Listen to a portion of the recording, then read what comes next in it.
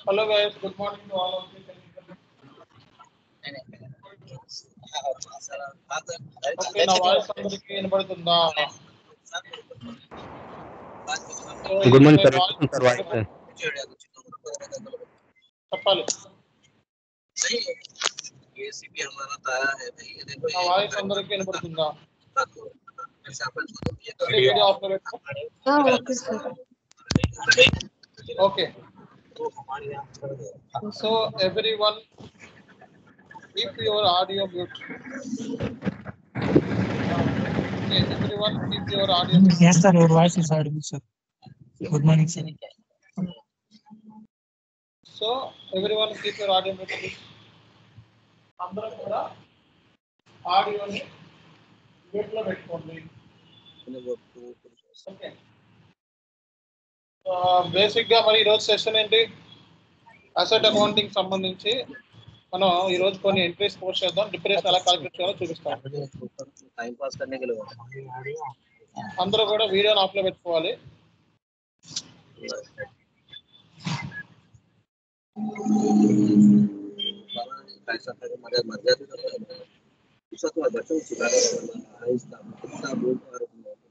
అది ఇతన రోజులు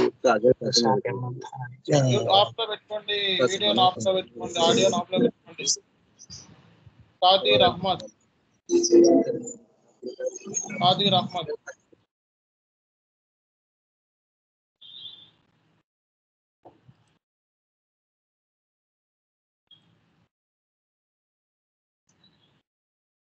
okay okay.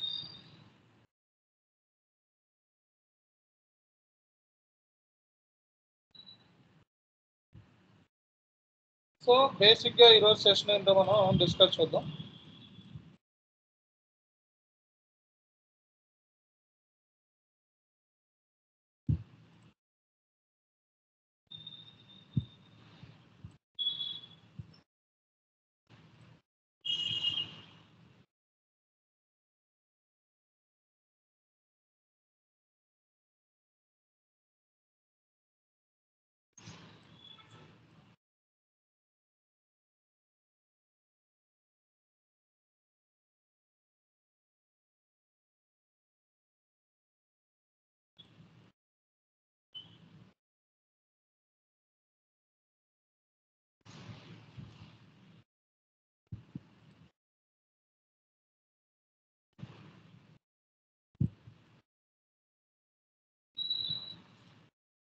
Okay okay guys let start the session so ఈరోజు మనం ఆర్ టు ఆర్ సంబంధించి మనం డిస్కషన్ చేస్తున్నామండి ఆర్ టు ఆర్ సంబంధించి. ఓకే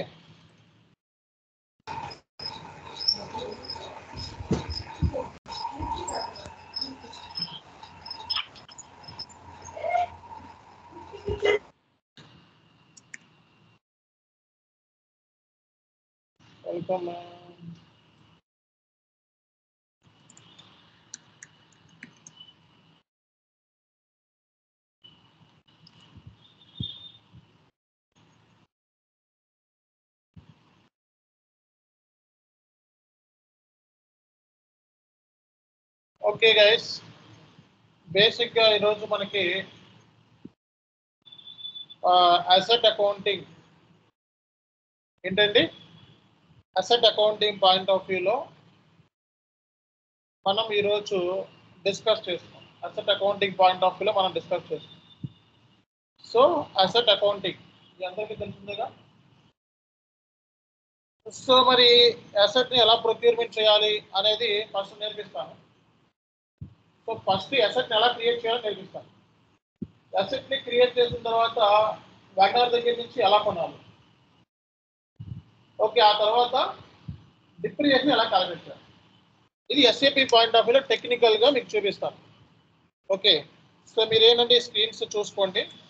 సో ఫస్ట్ ఫస్ట్ నేను ఒక అసెట్ని క్రియేట్ చేస్తాను సో దీనికి సంబంధించి మీకు సో నోట్ ప్యాడ్లో తీసుకుంటాను మీకు. ఓకే.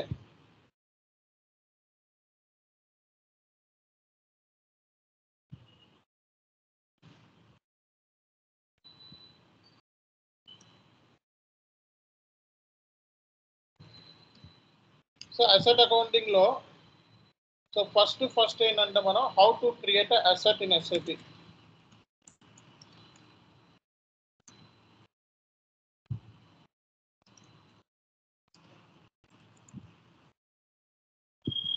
so ఎస్ఏపిలో మనం అసెట్ అనేది ఎలా క్రియేట్ చేసుకోవాలి? So how to create and asset in SAP ఎస్ఏపిలో ఎస్ఏపిని ఎలా క్రియేట్ చేసుకోవాలి అనేది ఫస్ట్ మనం డిస్కస్ చేద్దాం. సో అసెట్ని క్రియేట్ చేయాలంటే మనకి asset creation nothing but asset extension అనమాట AS zero one AS zero two AS zero so అసెట్ని create చేయడానికి ఈ కోడ్స్ రాసుకోండి.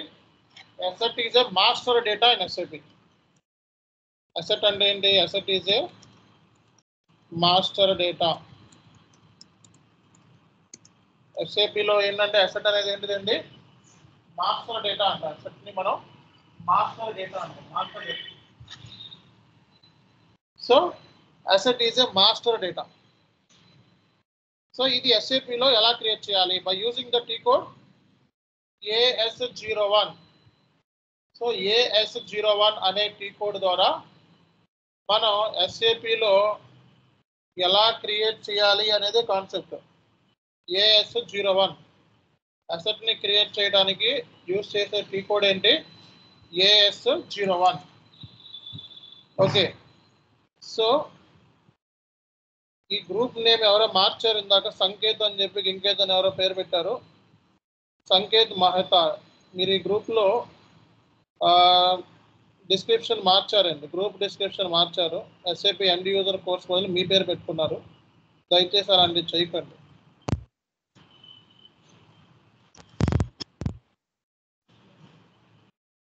సో ఇప్పుడు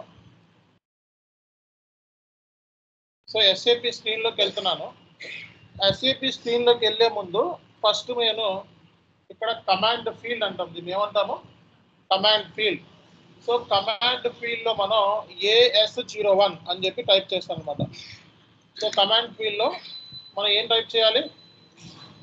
AS zero one AS zero one అంటే అసెట్ క్రియేషన్ అసెట్ని క్రియేట్ చేయాలంటే టీ కోడ్ ఏంటి? ఏఎస్ జీరో వన్ ఏఎస్ అనే జీరో వన్ అనే టీ కోడ్ ద్వారా మనం ఏం చేయొచ్చు? అసెట్ని క్రియేట్ చేసుకోవచ్చు. ఎంటర్ ఇక్కడ asset class so asset class తీసుకోవాలి అసెట్ క్లాస్ అంటే రాసుకోండి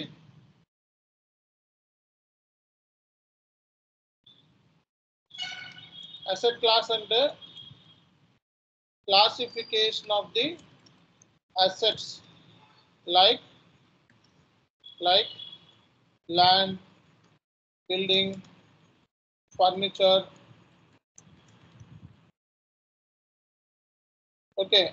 so land building furniture fixtures etc దీన్ని ఏమంటాం మనం asset class asset class is nothing but classification of the asset classification of the asset is called as a asset class.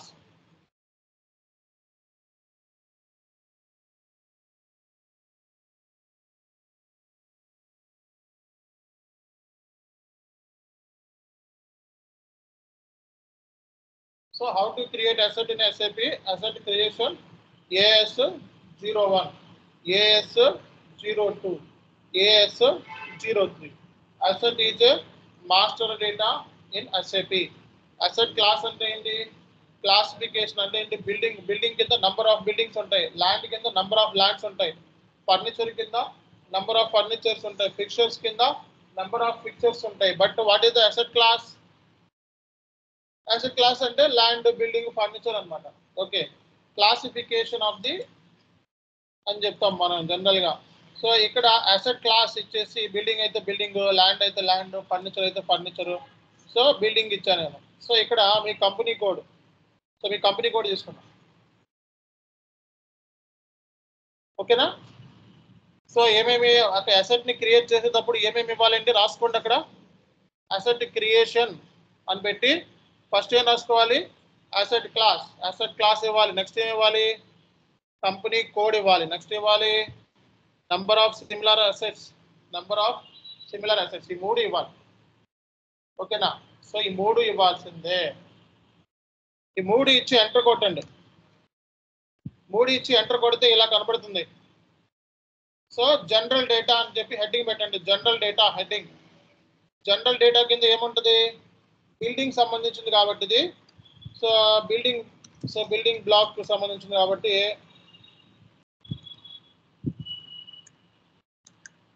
Okay డిస్క్రిప్షన్లో మనం building black అని చెప్పి ఇవ్వడం జరిగింది. సో అకౌంట్ డిటర్మినేషన్ ఏంటి మళ్ళా? బిల్డింగ్ అనేది ఇవ్వడం జరిగింది. సో ఇన్ కేసు దీనికి ఏమన్నా బిల్డింగ్ బిల్డింగ్ మిషనరీ అనుకో ఇప్పుడు మిషనరీస్ అసెట్ దానికి ఇన్వెంటరీ కానీ లేకపోతే క్వాంటిటీ కానీ ఇవన్నీ రాసుకోండి. Serial number account determination. ఈ పాయింట్ రాసుకోండి. అసెట్ని క్రియేట్ చేసేటప్పుడు బేసిక్గా ఇవ్వవలసిన ఇన్పుట్స్ రేపు పొద్దున అసెట్ మాస్టర్ డేటాని క్రియేట్ చేశానని చెప్పాలి. Okay description account determination serial number inventory number quantity next ఎప్పుడు capitalization date acquisition year first acquisition year అని రాయండి. సో ఈ పాయింట్ రాయండి. ఈ పాయింట్ రాయాలి. Serial number inventory number quantity capitalization on first acquisition acquisition year acquisition year so ఈ details first ఇవ్వాలి నువ్వు ఓకేనా సో ఈ డీటెయిల్స్ ఫస్ట్ ఇవ్వాలి ఫస్ట్ ఇవ్వవలసిన డీటెయిల్స్ ఇవే ఓకే సో ఈ డీటెయిల్స్ ఇవ్వాలి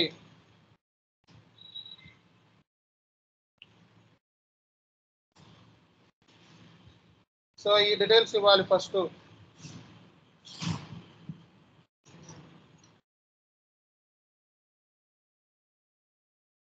సో ఇది ఇచ్చిన తర్వాత నెక్స్ట్ టైం డిపెండెంట్ అని పెట్టి రాసుకోండి. టైం డిపెండెంట్లో రాసుకోవాల్సింది రాసుకో. టైం డిపెండెంట్లో డేటా ఏముంది? Business area business area cost centre plant functional area రాసుకోండి.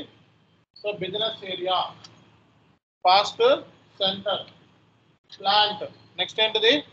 Functional area functional area so time dependent డేటాలో ఇది రాసుకోండి.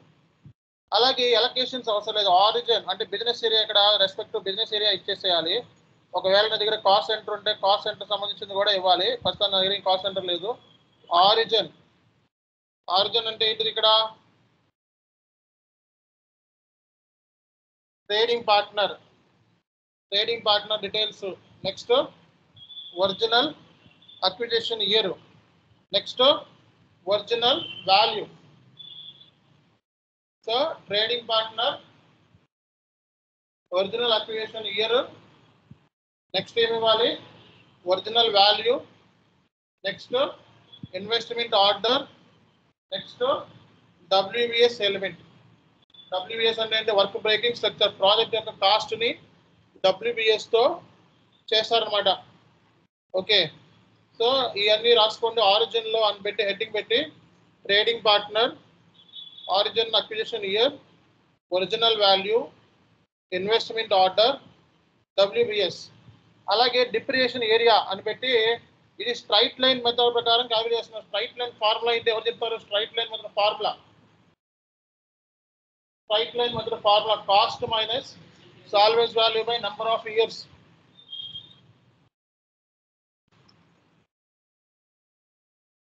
straight line మధ్య ఫార్ములా ఏంటండి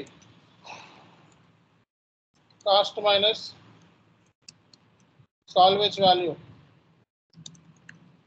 cost minus salvage value by number of years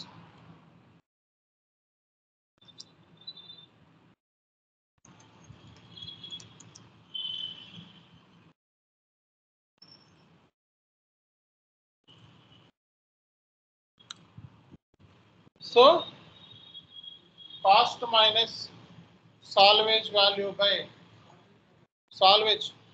Salvage value salvage value ఉంటుంది. అసెట్కి salvage value ఇస్తారు. So by number of years.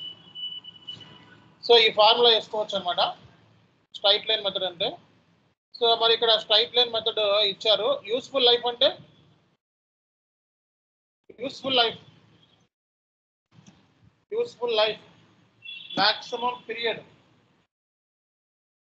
Maximum useful life ఎంత? Forty years. Maximum useful life of the period ఎంత? Forty years. Useful life is nothing but forty years. So ఇప్పుడు ఏం చేయాలి దీన్ని? Save. Save చేస్తే ఏమైంది? అసెట్ అనేది క్రియేట్ అయిపోయింది. అర్థమైందా? కాబట్టి asset ని క్రియేట్ చేయాలంటే ఫస్ట్ అసెట్ క్లాస్ తీసుకోవాలి. ఇప్పుడు ఇంకో asset ని క్రియేట్ చేస్తాను. ఓకే ఇంకో asset ని ఇచ్చినప్పుడు ఇంకో asset class respective asset class తీసుకోవాలి. సో తీసుకొని సో ఇదేంటిది ఇది? Plant and machinery two okay so time dependent data time dependent డేటాలో ఇవన్నీ ఇవ్వాలి. ఇవన్నీ ఇచ్చి ఆరిజిన్ ఆరిజిన్లో ఈ వెండార్ ఎక్కడి నుంచి రాసుకోండి ఆరిజిన్ దగ్గర vendor manufacturer trading partner original asset value ఎంత? ఎవరి అండ్ ఈ అసెట్ సంబంధించింది ఎవరు అనేది మొత్తం అంతా ఇచ్చాం. అలాగే డిప్రెషన్ ఏరియాస్లోకి వెళ్ళి ఇది డబ్ల్యూటీవీ మెథడ్ డబ్ల్యూటీవీ అంటే ఏంటి? డైరెక్ట్గా written down value method percentage base percentage so save so కాబట్టి ఇలా asset ని క్రియేట్ చేయడం చాలా ఈజీగా కష్టమా డీటెయిల్స్ ఉంటాయి. ఈజీగా కష్టమా చాలా చాలా dead easy okay you want to create an asset it's a very dead easy. అవునా కదా? సో అసెట్ని క్రియేట్ చేయడం అనేది చాలా dead easy concept okay so అసెట్ని create చేయడం అనేది చాలా చాలా చాలా చాలా dead easy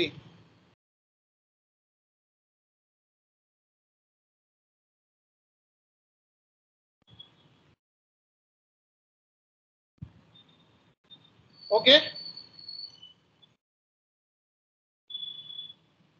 so first మనం అసెట్ని క్రియేట్ చేసుకున్నాం సో నెక్స్ట్ ఏంటి క్రియేట్ చేయాలి?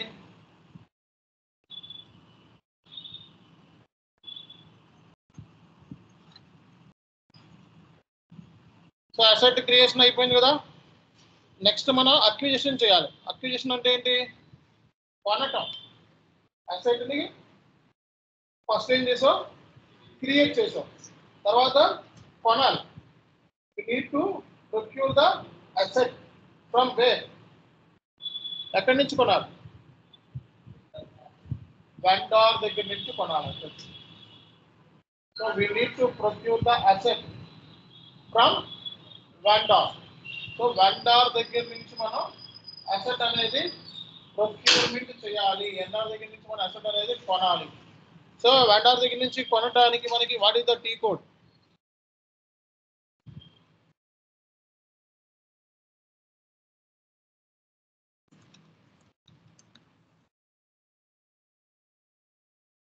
అసెట్ని ప్రొక్యూర్మెంట్ చేయడానికి. ఇది వితౌట్ పిఓ అనమాట పిఓ లేకుండా. పర్చేజ్ ఆర్డర్ లేకుండా ప్రొక్యూర్ చేయాలంటే టీ కోడ్ ఏంటి? ఎఫ్ డాష్ నైంటీ సో అసెట్ని మనం కొనాలి అన్నప్పుడు what is the T code F dash ninety so F dash నైంటీలో మనం అసెట్ని ఏం చేస్తాము? ప్రొక్యూర్మెంట్ చేస్తాం. So we need to procure the asset through F dash ninety so F dash ninety ద్వారా మనం ఏం చేస్తామండి? అసెట్ని ప్రొక్యూర్మెంట్ చేస్తాం.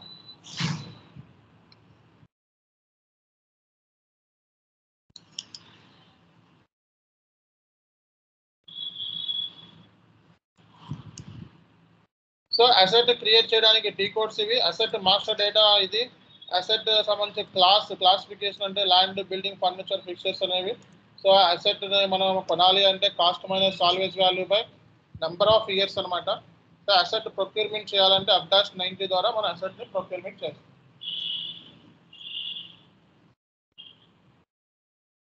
ఓకేనా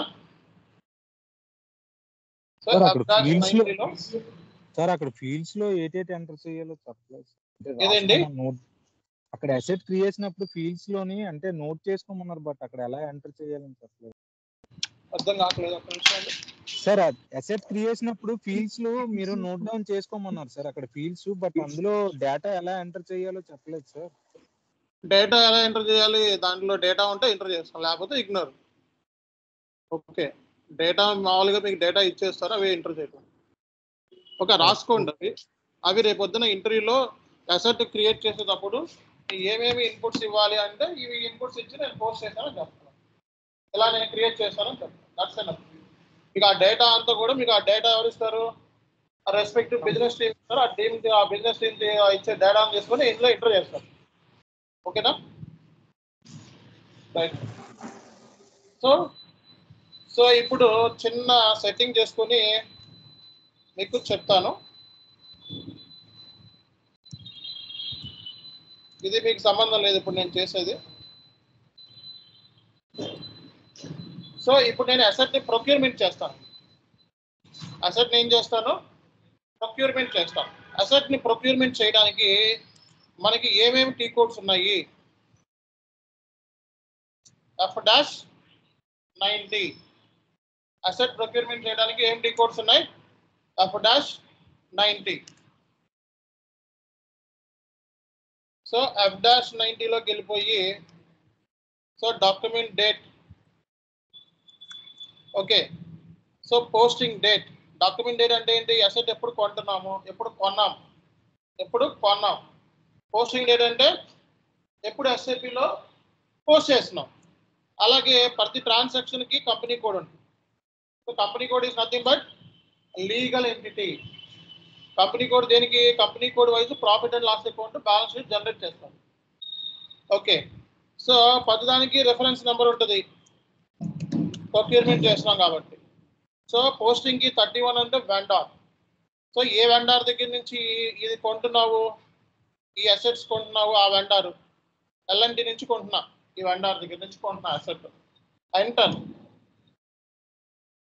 సో ఇక్కడ పీరియడ్ నాట్ ఓపెన్ అని వచ్చింది. ఇప్పుడు ఏం చేయాలి చెప్పండి ఇప్పుడు? ఈ కైండ్ ఆఫ్ ఇష్యూస్ వచ్చినప్పుడు? సో పీరియడ్ నాట్ ఓపెనింగ్ అని వచ్చింది. ఎవరు చెప్తారు ఈ కైండ్ ఆఫ్ ఇష్యూస్ వచ్చినప్పుడు ఏం చేయాలి? ఎవరు చెప్తారు? పీరియడ్ని ఓపెన్ చేసుకోవాలి సార్. ఆ? ఏం చేయాలి? ఓబీ ఫిఫ్టీ టూ లోకి వెళ్ళి పీరియడ్ని ఓపెన్ చేయాలి. ఆ. సో ఈ కైండ్ ఆఫ్ టెక్నికల్ ఎర్రర్స్ వచ్చినప్పుడు మీరు వెళ్ళి ఓపెన్ చేయరు. మీరు కన్సల్టెంట్లు కాదు. మీరు ఎవరు సో ఎండ్ యూజర్స్ మీరు. ఓకే ఎండ్ యూజర్స్ ఏం చేస్తారు? టికెట్ రేస్ చేసి టికెట్ కన్సల్టేట్ ఏ కైండ్ ఆఫ్ టికెట్ రైస్ చేస్తారు? ఎన్ని టైప్స్ ఆఫ్ టికెట్స్ ఉన్నాయి? Four types. Of P two ticket P three ticket P four ticket so మనం టికెట్ రైస్ చేస్తాం. టికెట్ రైస్ చేస్తే కన్సల్టెంట్స్ ఓపెన్ చేస్తారు అనమాట సో కాబట్టి ఇప్పుడు నేను పీరియడ్ ఓపెన్ చేస్తాను. సో ఐటీ వాళ్ళకి అప్ చెప్పేస్తాను టికెట్ రైస్ చేసి.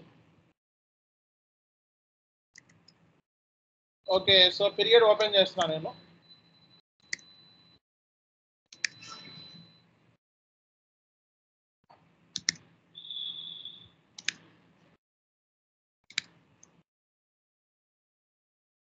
ఓకేనా? సో పీరియడ్ ఓపెనింగ్ అయిపోయింది చెక్ చేసుకోమన్నా. ఎంటర్ ఓకే అయిపోయింది చక్కగా. సో ఈ వెండార్కి ఎంత మొత్తం వెండార్ సంబంధించింది అమౌంట్ ఇవ్వాలి. మొత్తం కలిపి వెండార్ దగ్గర నుంచి యాభై లక్షలు కొన్నారండి. ఎంత? యాభై లక్షలు. యాభై లక్షలు కొన్నాం ఈ వెండార్ దగ్గర నుంచి. ఏమేమి కొన్నాం అంటే building okay plant and machinery కొన్నాం. ఓకే పోస్టింగ్ కీలో పోస్టింగ్ కీలో అసెట్కి పోస్టింగ్కి వచ్చిన డెబ్బై సెవెంటీ. అసెట్కి పోస్టింగ్కి వచ్చేటప్పటికి సెవెంటీ. సో ఈ డీటెయిల్స్ ఇచ్చిన తర్వాత సో అకౌంట్లోకి వెళ్ళి మనం ఓకే. సో ఈ రోజున క్రియేట్ చేసింది ఏది? ఇదొకటి ఇదొకటి. అంతేనా? బిల్డింగ్ సో బిల్డింగ్ తీసుకున్నాం. సో బిల్డింగ్ అలాగే ఎవరి దగ్గర నుంచి కొన్నాను అది తీసుకోవాలన్నమాట. ఎక్స్టర్నల్ అసెట్ ఎక్విజిషన్ ఓకేనా సో ఎంటర్ సో తర్వాత ఈ అమౌంట్ ఎంత అంటే పాతి లక్షలు ఇది. ఎంత? బిల్డింగ్ ఎంత? పాతి లక్షలు. తర్వాత ప్లాంట్ అండ్ మిషనరీ కూడా కొన్నా. సెవెంటీ అసెట్కి ఏంటిది పోస్టింగ్కి సెవెంటీ సో అలాగే అకౌంట్ దగ్గర తీసుకొని మనం ప్లాంట్ అండ్ మిషనరీ కూడా తీసుకుంటున్నాం. చూసుకోండి. తర్వాత ఎంటర్ సో ఇక్కడ posting transaction posting transaction value date not allowed so దీనికి వాల్యూ డేట్ అవసరం లేదు అంటున్నాడు reference date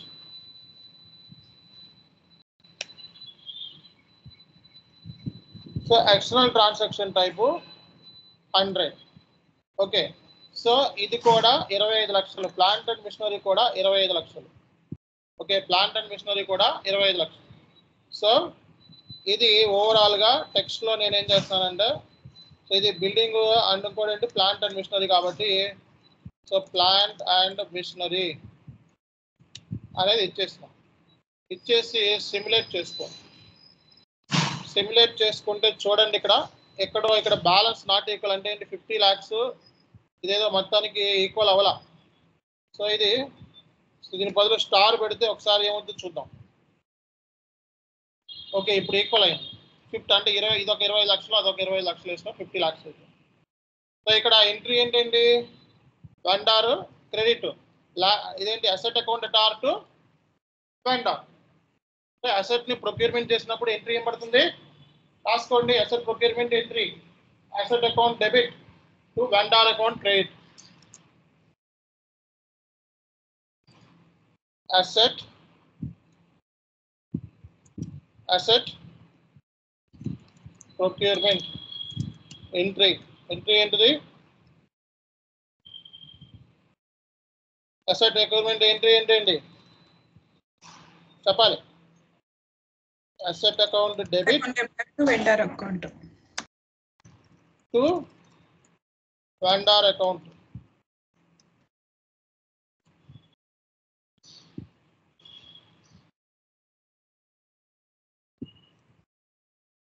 ఓకేనా సో ఈ ఎంట్రీ అర్థమైందా లేదా? సార్ అంటే? ఫస్ట్ సార్ అసెట్ అక్విజిషన్ చేసుకోవాలి ఆ తర్వాత ఇన్వాయిస్ పోస్ట్ చేయాలా సార్ ఫస్ట్ అసెట్ కొనాలి కదా. ఫస్ట్ అసెట్ ఏం చేయాలి? మాస్టర్ డేటా క్రియేట్ చేయాలి. అసెట్ని క్రియేట్ చేస్తాం. తర్వాత ఏం చేస్తాం? అసెట్ని కొంటున్నాం. ఇప్పుడు అసెట్ని. కొంటున్నాం అని చెప్పి రాసుకోవాలి కదా మనం బుక్స్లో అవును సార్ అది లోకి వెళ్ళి అప్డేట్ సిక్స్టీ వేసి సెట్ చేసేయడం సార్. సి జనరల్గా అయితే మనకి సో నువ్వు మార్కెట్లోకి వెళ్ళావు. మార్కెట్లోకి వెళ్ళి అసెట్ కొనుక్కొని వచ్చావు. ఓకే సో మరి అసెట్ కొనుక్కొని వచ్చావు అని బుక్స్లో రాసుకోవాలి కదా? అవును సార్ అవును సార్. ఆ, మరి అసెట్ ఏంటి ఏం కొన్నావో దాన్ని క్రియేట్ చేసాం అవును సార్ ఫస్ట్ ఓకే అండ్ ఎప్పుడు కొన్నావో అది రాసాం ఆ వాల్యూ ఆ వాల్యూ కదా రాసింది? ఇరవై లక్షలు ఇరవై. లక్షలు. అవును ఓకేనా? సో అది మనం ఎఫ్బి సిక్స్టీలో చేయాలి కదా సార్? ఎఫ్బి సిక్స్టీ మా ఎఫ్డి ఎఫ్బి సిక్స్టీ కాదు F dash ninety okay asset seventy F dash నైన్టీలో చేస్తాం. అది. ఇది అసెట్ సంబంధించి మనకి T code F dash ninety okay? So ఇది చేసిన తర్వాత ఏం చేయాలి మీరు? సేవ్ చేయాలి. సేవ్ చేసిన తర్వాత డాక్యుమెంట్ అనేది పోస్ట్ అయిపోయింది. ఇక్కడికి వెళ్ళి మీరు డిస్ప్లేలోకి వెళ్ళి సో ఎవరి దగ్గర నుంచి కొన్నారు ఏంటి ఫర్దర్గా ఇంకా నీకు ఫర్దర్ డీటెయిల్స్ కావాలి అంటే further details. If you need further details you can click on this.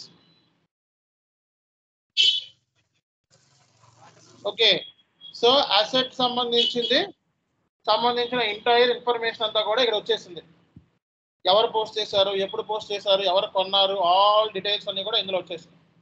కాబట్టి అసెట్ ప్రొక్యూర్మెంట్ సంబంధించి మీకు సో ఇంటర్వ్యూలో అడిగే క్వశ్చన్ ఏంటంటే so what is the T code for asset procurement F dash ninety so at the time of asset creation what are the inputs that we need to give చెప్పండి. Document date ఇవన్నీ invoice చేసేటప్పుడు ఇవన్నీ రాస్తున్నారు already.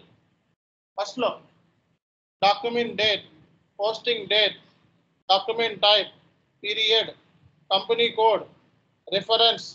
Okay so ఇవన్నీ పాయింట్లు ఏమైతే నేను చెప్పున్నాను posting చేసి ఇవన్నీ ఇచ్చామని చెప్పాలి. నెక్స్ట్ ఇంటర్వ్యూలో అడిగే క్వశ్చన్ ఏంటంటే what is the journal entry after procurement of the asset asset procurement journal entry ఏంటి? చెప్పండి.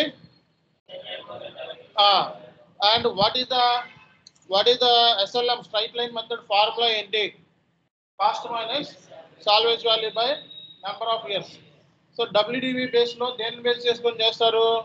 పర్సంటేజ్ బేస్ మీద చేస్తారు. ఓకే సో ఇప్పుడు మీకు అసెట్ ప్రొక్యూర్మెంట్ ఎస్ఐపి సిస్టమ్లో ఎలా చేయాలో మీకు చూపించాం.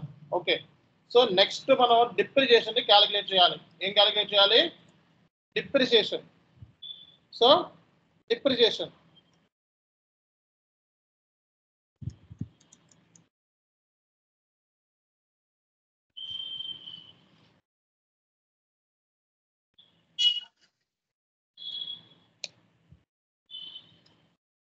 so depreciation calculate చేయాలంటే మనకి యూజ్ చేసే ఎస్ఐపిలో లో యూజ్ చేసే టీ కోడ్ ఏంటి?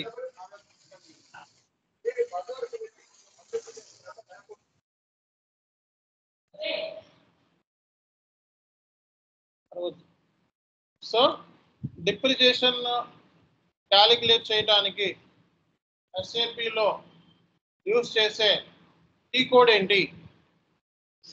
ఏఎఫ్ ఏబి సో అసెట్ని డిప్రెషన్ క్యాలిక్యులేట్ చేయడానికి యూజ్ చేసే టీ కోడ్ ఏంటి? AF AB so AF AB అన్నమాట. సో ఈ టీ కోడ్ ద్వారా మనం ఎస్ఏపిలో డిప్రిజేషన్ అనేది క్యాలిక్యులేట్ చేయొచ్చు. ఓకే ఈ టీ కోడ్ ద్వారా ఎస్ఏపిలో మనం ఏం చేయొచ్చు? డిప్రిజేషన్ అనేది క్యాలిక్యులేట్ చేయొచ్చు. సో ఇక్కడ ఏఎఫ్ఏబి ఏంటిదండి? ఏఎఫ్ఏబి ఏఎఫ్ఏబి అంటే డిప్రెషన్ క్యాలిక్యులేట్ చేయడానికి యూస్ చేసే టీ కోడ్ని ఏఎఫ్ఏబి అంటాం. డిప్రెషన్ క్యాలిక్యులేట్ చేయడానికి యూస్ చేసే టీ కోడ్ని మనం ఏమంటాం? సో ఏఎఫ్ఏబి అంటాం సో ఏఎఫ్ఏబిలోకి వెళ్ళి ఎంటర్ కొట్టు. ఎంటర్ కొట్టిన తర్వాత సో ఫస్ట్ ఏమి ఇవ్వాలి? కంపెనీ కోడ్ తర్వాత ఏమి ఇవ్వాలి? తీసుకెళ్ళి తర్వాత ఏమి ఇవ్వాలి? కోర్సింగ్ పీరియడ్ ఈసారి ఈ ఇయర్లో మనకి ఏంటి జనరల్గా లెవెన్త్ పీరియడ్ రన్ అవుతుంది. అర్థమైందా? లెవెన్త్ పీరియడ్ రన్ అవుతుంది. కానీ అన్ఫార్చునేట్లీ మనం సో డిప్రియేషన్ క్యాలిక్యులేట్ చేయాల్సింది ఎప్పుడు? ఎప్పుడు? ఎప్పుడు క్యాలిక్యులేట్ చేయాలి డిప్రియేషన్ మంత్ ఎండ్లో క్యాలిక్యులేట్ చేస్తామా? లేకపోతే మధ్యలో క్యాలిక్యులేట్ చేస్తామా? ఎవ్రీ మంత్ ఈ రెండింగ్లో డిప్రెషన్ క్యాలిక్యులేట్ చేస్తాం. అంతేనా కదా? మంత్ ఎండ్లో డిప్రెషన్ క్యాలిక్యులేట్ చేయాలి. కానీ ఇప్పుడు మనం ఏం చేస్తున్నాము? సడన్గా ఇప్పుడు క్యాలిక్యులేట్ చేస్తున్నాం ఈ రోజు క్యాలిక్యులేట్ చేద్దాం అనుకుంటున్నాం. సో అలాంటప్పుడు మనం ఏం సెలెక్ట్ చేసుకోవాలి? అన్ప్లాన్డ్ పోస్టింగ్ అంటే డ్యూ టు అన్ఫోర్సిన్ సిచ్యువేషన్స్ మూలంగా. ఓకే సడన్గా ఫ్లక్స్ వచ్చి కొట్టిపోయినాయి అసెట్స్ ఈ రోజే క్యాలిక్యులేట్ చేయాలి. మనం అంతే కదా? స్టోర్ ఏం చేశారు? అసెట్స్ ఈ రోజే క్యాలిక్యులేట్ చేయాలి డిప్రిసియేషన్ సో అలాంటప్పుడు మనం డిప్రిజేషన్ క్యాలిక్యులేట్ చేయాలి అంటే మనం తీసుకోవాల్సింది ప్లానుడా అన్ప్లానుడా అన్ప్లాన్డ్ ప్లానుడ్ అంటే ఏంటి? ప్లానుడ్ అంటే ఏంటి? What is planned every month every month plan చేసుకొని మనం డిప్రియేషన్ అనేది calculate every month so we need to plan and make a depreciation that is called as a plan అంటే ప్రతిరోజు మనం డిప్రియేషన్ని క్యాలిక్యులేట్ చేస్తాం. దాన్ని ఏమంటాం మనం? ప్లాన్ ప్లాన్ ఓకే సో అంటే ఎవ్రీ మంత్ ప్లాన్ చేసుకొని పోస్ట్ చేస్తాం. రిపీట్ అంటే ఏంటి? రాసుకోండి అక్కడ ఆప్షన్స్ రాసుకోండి. రీజన్ ఫర్ పోస్టింగ్ అని పెట్టి ప్లాన్డ్ అంటే ఎవ్రీ మంత్ అని పెట్టుకోండి. సో రిపీట్ అంటే ఏమైనా డిప్రిసియేషన్ పోస్ట్ చేసిన తర్వాత అరే అరే ఇది రాంగ్గా చేశానే. డిప్రిసియేషన్ టెన్ పర్సెంట్ బదులు ఫిఫ్టీన్ పర్సెంట్ చేశానే. లేకపోతే ఫైవ్ పర్సెంట్ బదులు టెన్ పర్సెంట్ చేశానే. నేను క్యాలిక్యులేషన్ ఓకే రాంగ్ ఇది జరిగిందో డిప్రెషన్ అని అనిపించినప్పుడు ఓకే సో అని అనిపించినప్పుడు మనం ఏ ఆప్షన్ ఉపయోగించవచ్చు కరెక్ట్ చేయొచ్చు? రిపీట్ రిపీట్ అనే ఆప్షన్ని మనం ఉపయోగించవచ్చు. నెక్స్ట్ ఏంటిదండి రీస్టార్ట్ నేను డిప్రెషన్ అనేది ఒక అసెట్ చేస్తారా? రియల్ టైంలో కొన్ని వందల అసెట్లు చేస్తారా? వందల అసెట్లకి ఒకేసారి అంటే అక్కడ కంపెనీ కోడ్ చూడండి. ఆ కంపెనీ కోడ్లో ఉన్న అసెట్లు ఎన్ని ఉంటాయి? అన్ని. వంద ఉంటే వంద వెయ్యి ఉంటే వెయ్యి. ఒకేసారి డిప్రెషన్ అనేది క్యాలిక్యులేట్ చేస్తారు అవునా కదా? ఒకేసారి డిప్రెషన్ క్యాలిక్యులేట్ చేసినప్పుడు ఏం రావచ్చు మనకి? సడన్గా పవర్ ఫెయిల్యూర్ రావచ్చు. సడన్గా పవర్ ఫెయిల్యూర్ ఉండొచ్చు. సడన్గా సో నెట్వర్క్ ఫెయిల్యూర్ అవ్వచ్చు. అప్పుడు ఏమవుతుంది? సగం సగంలో ఆగిపోయే ఛాన్సెస్ ఉంటాయి అవునా కదా? సో అలాంటప్పుడు మనం మళ్ళా రీస్టార్ట్ చేసుకోవచ్చు. అలాంటప్పుడు మళ్ళీ ఏం చేసుకోవచ్చు? మళ్ళా రీస్టార్ట్ చేసుకోవచ్చు. అన్ప్లాన్డ్ అంటే ఏంటి? అన్ప్లాన్డ్ అంటే అన్ఎక్స్పెక్టెడ్ అన్ఎక్స్పెక్టెడ్ సిచ్యువేషన్స్ వచ్చినప్పుడు మనం అన్ప్లాన్డ్ ఓకే అన్ప్లాన్డ్ అన్నమాట. సో అన్ప్లాన్డ్ మనం మనం సెలెక్ట్ చేసుకుంటున్నాం ఇప్పుడు నేను. ఇది టెస్ట్ రన్ టెస్ట్ రన్ తీసుకొని ముందు టెస్ట్ రన్ అంటే ఏమైనా ఎర్రర్స్ ఉన్నాయా? డిప్రిజేషన్ రన్ చేసేటప్పుడు ఏమైనా ఎర్రర్స్ డిప్రిజేషన్ అనేది ఎర్రర్స్తో పోసేయాలా పోస్ట్ చేయాలా ఎర్రర్స్ లేకుండా పోస్ట్ చేయాలా ఎర్రర్స్ లేకుండా పోస్ట్ చేయాలి. కాబట్టి ఏమైనా ఎర్రర్స్ ఉన్నాయా లేదా అని మనం ముందుగానే ఏ మోడ్లో చెక్ చేయాలి? టెస్ట్ మోడ్లో చెక్ చేయాలి. ఏ మోడ్లో చెక్ చేయాలి? టెస్ట్ మోడ్లో. సో ఎగ్జిక్యూట్ సో ఇక్కడ ఎర్రర్స్ ఉన్నాయి. చూడండి ఇక్కడ. చూసారా ఎర్రర్స్ ఇది ఎర్రర్స్ చూపిస్తుంది. ఏంటి ఎర్రర్స్ ఇదిగో ఇది ఎర్రర్ వచ్చింది. తెలియదు no item account category error అన్నమాట. చూసారా? సో ఈ కైండ్ ఆఫ్ ఎర్రర్ చూసారా ఇది? ఇదొక ఎర్రర్ ఇంకా దీనికి ఏమొచ్చింది ఎర్రర్ సో దీనికి ఏమొచ్చింది? ఇది కూడా వచ్చింది. Four hundred five hundred five not one దీనికి కూడా ఎర్రర్ వచ్చింది. Four hundred five not two అంటే four hundred five five hundred నుంచి ఎర్రర్స్ వచ్చినాయి మనకి ఇప్పుడు ఎర్రర్ వచ్చినప్పుడు ఎవరిని కాంటాక్ట్ అవ్వాలి? ఐటీ కన్సల్టెంట్ని కాంటాక్ట్ అవ్వాలి. ఏ టికెట్ని రైస్ చేయాలి? సో అర్జెంట్ అనుకో మంత్ ఎండింగ్ ఇంకో పీ టూ టికెట్ రైస్ చేస్తాం. పీ వన్ కానీ పీ టూ కానీ అదే మామూలు సిచ్యువేషన్లో అయితే P three P four raise చేస్తాం. సో రైజ్ చేసిన తర్వాత ఏ బేస్ మీద కన్సల్టెంట్ పనిచేయాలి? ప్రయారిటీ అండ్ సివియారిటీ బేస్ మీద పనిచేయాలి. ఇప్పుడు ఇది నేను డిప్రియేషన్ బాగానే క్యాలిక్యులేట్ చేసింది. Everything good perfect but the thing is error ఉంది. ఎర్రర్ ఉంది అంటే పోస్ట్ అవ్వదు. డిప్రియేషన్ పోస్ట్ అవ్వదు. ఎర్రర్ అంటే ఏమవుద్ది? డిప్రియేషన్ పోస్ట్ అవ్వదు. అందుకే నేను ఏ మోడ్లో చెక్ చేశాను? టెస్ట్ మోడ్లో చెక్ చేశాను టెస్ట్ మోడ్లో చెక్ చేశాను కాబట్టి టెస్ట్ మోడ్లో చెక్ చేసినప్పుడు మీకు ఎర్రర్ వచ్చినప్పుడు దాన్ని మనం కరెక్ట్ చేయాలా వద్దా? ఓకే సో కరెక్ట్ చేసేది కన్సల్టెంట్ నేను కన్సల్టెంట్ కాబట్టి ఐటీ కన్సల్టెంట్ కాబట్టి I will correct it right away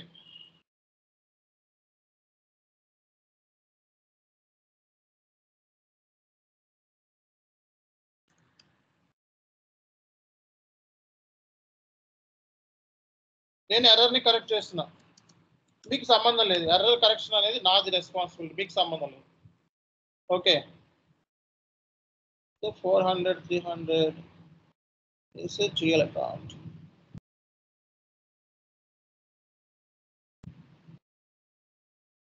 okay. So నా ఎర్రర్ కరెక్షన్ అయిపోయింది. సో మళ్ళా నేను ఏం చేస్తానంటే సో ఇంటి కొట్టి మళ్ళా ఇంటి కొట్టి బ్యాక్ వచ్చి చెక్ చేస్తా ఎర్రర్స్ ఏమైనా ఉన్నాయేమో అని. ఓకే. సో దగ్గర దగ్గర రియల్ టైంలో ఇది వెయ్యి అసెట్స్ పైన రన్ చేస్తారు. ఇది ఇప్పుడు నేను ఎగ్జిక్యూట్ చేసేది ఫోర్ గ్రౌండ్ మోడ్ దీన్ని ఏమంటారు? ఫోర్ గ్రౌండ్ మోడ్ అంటారు. ఈ మోడ్లో ఎర్రర్ చెక్ చేసుకుంటాం మనం. ఇక్కడ ఎక్కడైనా ఎర్రర్స్ ఉన్నాయా? ఎర్రర్స్ లేవు. సో ఇక్కడ మనం చెక్ చేసుకోవచ్చు. ఎర్రర్ లిస్ట్ ఏమైనా ఉందా అంటే నో ఎర్రర్స్ సో ఎర్రర్ లేదు కాబట్టి మనం ఏం చేయాలి దీన్ని? సో టెస్ట్ మోడ్లో నుంచి తీసేసి టెస్ట్ మోడ్లో నుంచి తీసేసి రియల్ మోడ్లో రన్ చేసుకోవాలి. అంటే ఏంటి? ఫస్ట్ ఎర్రర్ని చెక్ చేసుకోవడానికి ఏ మోడ్లో రన్ చేస్తామో? టెస్ట్ మోడ్ సో టెస్ట్ మోడ్లో నో ఎర్రర్ అని చెప్పి ఫైండ్ అవుట్ చేసిన తర్వాత ఏ మోడ్లో రన్ చేస్తామో? చెప్పాలి. సో ఇప్పుడు మీరు సో డైరెక్ట్గా సో ఇప్పుడు మీరు మీ company code physical year posting period ఇవన్నీ ఇచ్చి డైరెక్ట్గా ఎగ్జిక్యూట్ చేయండి. ఓకే ఇక్కడ so the processing can be carried out has a background processing అవునా కదా? సో ఇక్కడ ఏమంటుంది సిస్టమ్ అదే బాబు ఇది రియల్ టైంలో కొన్ని వేల ఎసెట్స్ నువ్వు డిప్రెషన్ రన్ చేస్తున్నావు నాయన. ఇది ఫోర్ గ్రౌండ్ మోడ్లో అవ్వదు. బ్యాక్గ్రౌండ్ మోడ్లో చేసుకోమంటున్నాడు. అంటే బ్యాక్గ్రౌండ్ జాబ్ని ఎగ్జిక్యూట్ చేయమంటున్నాడు ఇక్కడ. అంటే ఇది ఇలా చేస్తే అవదు అంటున్నాడు వాడు. ఇది ఇలా ఎగ్జిక్యూట్ చేస్తే ఏమంటుంది? అరే బాబు ఇది కొన్ని వందల వేల అసెట్స్ ఇది బ్యాక్గ్రౌండ్ మోడ్ రన్ చేస్తే ఇక్కడ అవదండి. ఇందాక అయ్యింది ఇప్పుడు ఎందుకు అవ్వలేదు ఇందాక ఎర్రర్ ట్రేస్ అవుట్ చేసినాక అయ్యింది. అలా అని చెప్పి ఇక్కడ ఎగ్జిక్యూట్ అయితే అవ్వట్లేదు. అంటే బ్యాక్గ్రౌండ్ మోడ్ ఎలా చేస్తాం మనం ఇక్కడికి వెళ్ళాలి. బ్యాక్గ్రౌండ్ మోడ్ ప్రోగ్రామ్ ఉంటుంది so execute in background mode execute in background mode so ఇక్కడ అవుట్పుట్ డివైస్ వచ్చేటప్పటికి LP zero one ఏమివ్వాలి? LP zero one output device వచ్చేటప్పటికి ఎల్పి జీరో వన్ దీని మీద క్లిక్ చేసి ఓకే చేసి ఓకే ఇమీడియట్ అనే ఆప్షన్ సెలెక్ట్ చేసుకొని సేవ్ అనే ఆప్షన్ సెలెక్ట్ చేసుకోవాలి. సో ఇక్కడ బ్యాక్గ్రౌండ్ జాబ్ షెడ్యూల్ అయిపోద్ది అన్నమాట. సో బ్యాక్గ్రౌండ్ జాబ్ షెడ్యూల్ అయిన తర్వాత మనం బ్యాక్గ్రౌండ్ జాబ్ని మనం ఎక్కడ చూడొచ్చు అంటే సో డైరెక్ట్గా రాసుకోండి background job key code background job key code SM thirty seven so background mode job T code SM thirty seven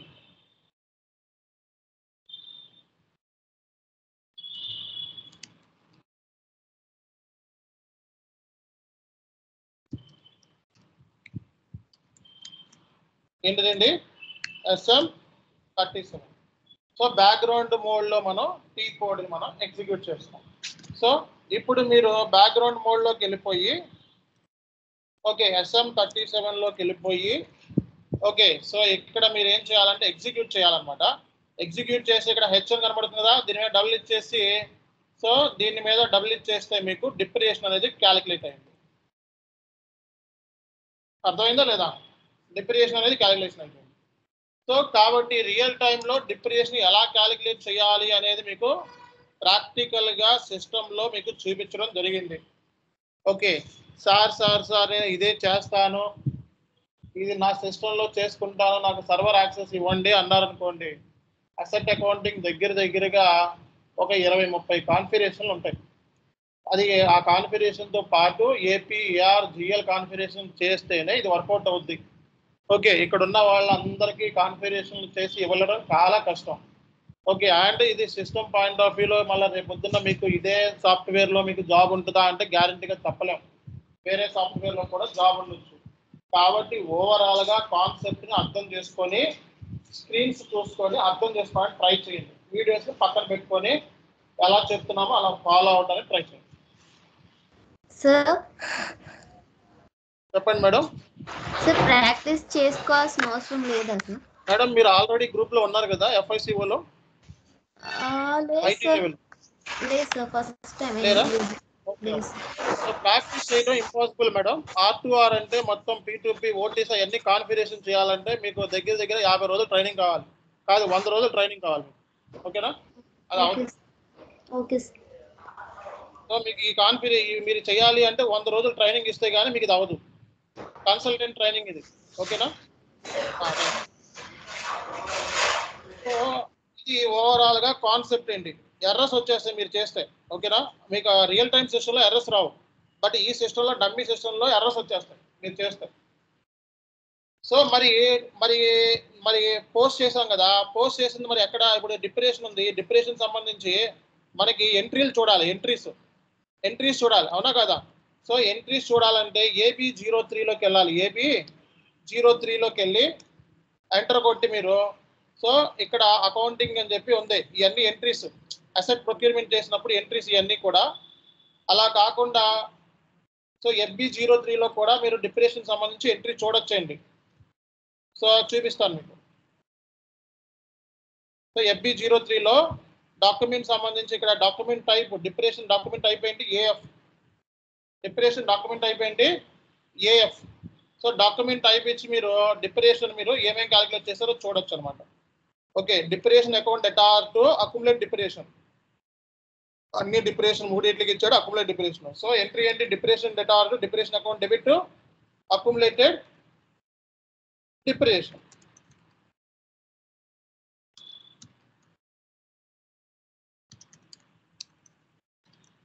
Entries రాసుకోవాలి. ఓకేనా?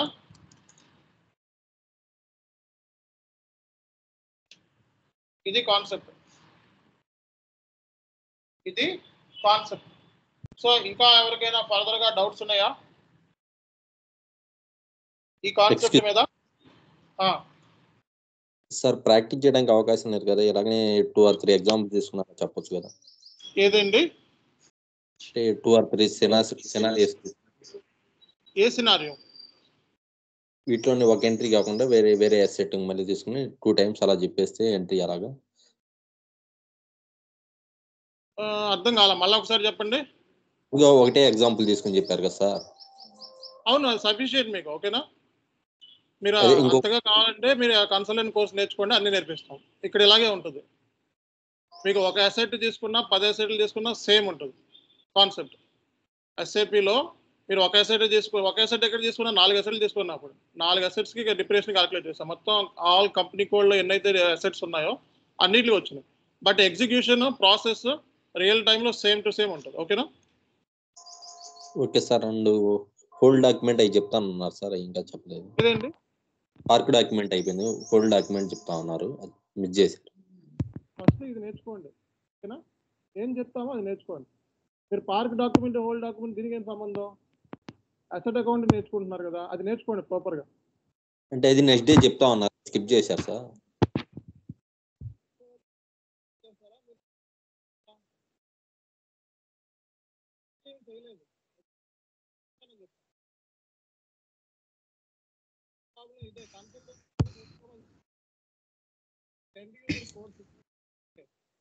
Your voice is not audible sir అంటే ఎక్కువ స్టఫ్ నేర్పాం అనుకోండి సగం మంది వెళ్ళిపోతారు. వాళ్ళకి అర్థం కాదు ఫస్ట్ సింపుల్ కోర్స్ అంతగా సబ్జెక్ట్ కావాలి అనుకుంటే వాయిస్ వెరీ లో ఉంది సార్ అర్థం సార్ ఏం పడుతుందో వాయిస్ నాది? ఇప్- ఇప్పుడు okay sir already I told you yesterday క్లాస్లో కూడా నేను క్లియర్గా చెప్పాను. నేను ఏది చెప్తానో అదే నేర్చుకోండి. అంతకంటే ఎక్కువ కావాలంటే కన్సల్టెంట్ అండి ఓకేనా పార్క్ డాక్యుమెంట్ హోల్ డాక్యుమెంట్ అనేది ఇంకా అప్రూవల్ డిఫరల్ ఇలా చాలా కాన్సెప్ట్స్ ఉన్నాయి. అవన్నీ కూడా ఇంటర్వ్యూ మోడ్లో ఇంటర్వ్యూ ట్రైనింగ్ బేస్లో చెప్తామని చెప్పిన. ఓకేనా సో పార్క్ డాక్యుమెంట్ చేయడం రెండు నిమిషాల పని రెండు నిమిషాలుగా రెండు సెకండ్ల పని. అది ఆల్రెడీ డిస్కస్ చేసినట్టున్నాం లాస్ట్ క్లాస్లో. ఓకే సో ఈ అకౌంట్లో నేను ఏమైతే చెప్తున్నానో అవే నేర్చుకోండి. కొంతమంది ఇక్కడ కన్సల్టెంట్ ట్రైనింగ్ తీసుకొని ఇక్కడికి వచ్చారు. ఓకే వాళ్ళకి ఏంటంటే ఇవన్నీ సింపుల్గా అనిపించవచ్చు ఓకే ఎందుకంటే మీకు ఇది ఎండ్ యూజర్ కోర్స్ బాబు. ఆ లెవెల్ ఆఫ్ స్టాండర్డ్ కావాలంటే కన్సల్టెంట్ కోర్స్ నేర్చుకోండి. అంతకంటే డెప్త్గా చెప్తాం. ఓకేనా? ఇక్కడ ఏంటంటే జనరల్గా చాలా మందికి ఏంటంటే బేసిక్ నాలెడ్జ్ కొంచెం ఇంగ్లీష్ వీక్ అది చాలా మంది ఉంటారు. వాళ్ళ పాయింట్ ఆఫ్ వ్యూ కోర్సు తొందరగా జాబ్ కొట్టడం ఎలా? ఇప్పుడు నేను ఏమైతే చెప్పానో చూపించానో that's more than sufficient for end users ఓకేనా థ్యాంక్ యూ సార్ చెప్పండి. సార్ ఈ రోజు క్లాస్లో అదే సార్ ఫస్ట్ అసెట్ ఎక్వైజేషన్ చేసాం కదా సార్ ఎఫ్ డాష్ నైన్టీ దాని తర్వాత vendor invoice asset the invoice post చేశారు కదా సార్ ఏదండి F dash ninety asset acquisition entry post చేశారు కదా సార్ ఫస్ట్ దాని తర్వాత వెండర్ ఇన్వాయిస్ అసెట్లో పర్చేజ్ చేసినట్టు పోస్ట్ చేశారు కదా సార్ దానికి దానికి కూడా ఎఫ్ డాట్లోనే చేస్తామా సార్ సో ఫస్ట్ నేను అసెట్ని కొన్నా. సో అసెట్ నేను. మాస్టర్ డేటా క్రియేట్ చేసా తర్వాత నైన్టీ వినండి బాబు first Suresh. Okay sir okay sir Suresh. First మీరు అసెట్ని ఇందాక సేమ్ క్వశ్చన్ రిపీట్ అడుగుతున్నారు. So asset. అసెట్ మాస్టర్ డేటాని ఫస్ట్ క్రియేట్ చేసుకున్నాం SAP లో. ఓకే అసెట్ని ప్రొక్యూర్మెంట్ చేయాలి అంటే అసెట్ ప్రొక్యూర్మెంట్ చేయాలంటే అప్ డాష్ నైన్టీ ఏ ఓకేనా వేరే టీ కోడ్లు పనిచేయవు. ఎందుకంటే ఎక్స్టర్నల్ ట్రాన్సాక్షన్ టైప్ హండ్రెడ్ ఇవ్వాలి అక్కడ. సో మీరు ఏం. చెప్తున్నారు? సార్ నాకు ఎఫ్బి సిక్స్టీ ఉంది కదా అందులో చేసుకుంటానంటే దాంట్లో వెళ్ళి చేస్తే వర్కౌట్ అవ్వదు. ఓకేనా అసెట్ని? ప్రొక్యూర్మెంట్ చేయాలి అంటే ఆ టీ కోడ్ మాత్రమే యూజ్ చేయాలి. ఓకేనా రైట్ ఓకే